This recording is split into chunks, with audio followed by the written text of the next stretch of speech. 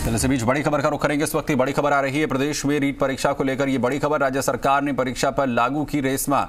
परीक्षा से जुड़े कर्मचारियों, संस्थाओं में हड़ताल पर रोक लगा दी गई है।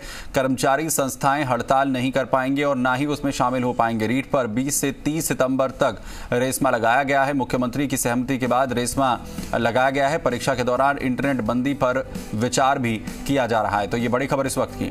विष्णु शर्मा, जी मीडिया संवाददाता, खबर पर जानकारी के साथ जुड़ रहे हैं विष्णु किस तरीके के कदम उठाए जा रहे हैं और रेशमा अप्लाई करने का क्या मतलब समझा जाए?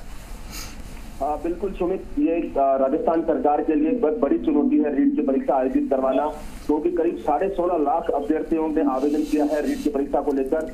और इसको देखते हुए राज्य सरकार यानी गृह विभाग ने आज रीट की परीक्षा पर रेशमा लागू कर दी है।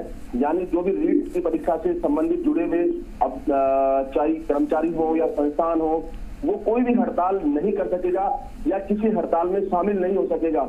और इसको लेकर जो रीट की परीक्षा है, उसको अति आवश्यक सेवाओं में घोषित कर दिया है राज्य सरकार ने।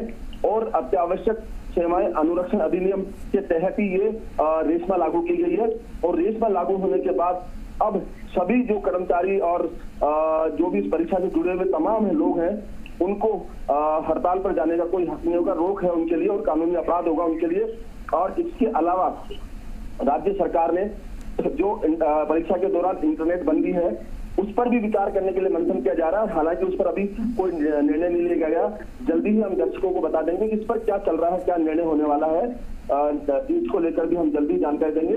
और फ़िलहाल जो रेशमा है वो राज्य सरकार की ओर से लागू कर दी गई है। मुख्यमंत्री ने अभी सहमति दी है कल, और उसके बाद गृह विभाग की ओर से आज सुबह आदेश जारी हो गए और ये आदेश सभी जगह संबंधित जिला कलेक्टर और कमिश्नर है, उनको सर्कुलेट किए जा रहे हैं, और इसके बाद अब कोई भी हड़ताल नहीं कर सकेगा सुमित चलिए, बहुत शुक्रिया विष्णु इस तमाम जानकारी के लिए।